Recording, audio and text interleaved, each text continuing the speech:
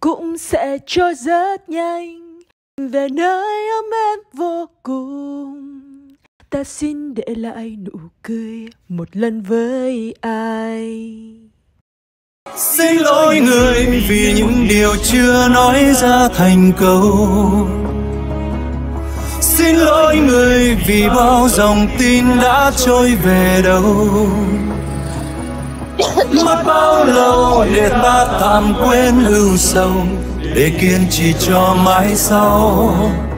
Và những ký ức mệt nhoài chợt tan vào sớm mai cảm ơn người vì luôn cạnh bên sẽ chia buồn vui. Cảm ơn người vì đôi bàn tay chưa từng buông ok em yên tâm nhá